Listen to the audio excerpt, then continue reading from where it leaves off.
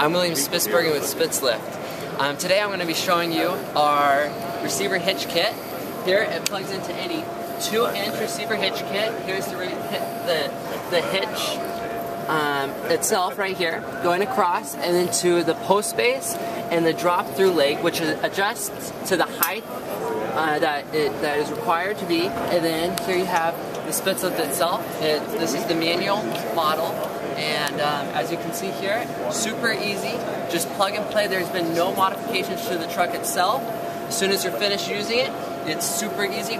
Fold it down, compact, store it, and you're done. All right, thank you so much. Again, this is my first year here at the NTEA. I'm so excited for the years to come. Spitzlift itself, as the, the company, has been here for multiple years, and uh, excited.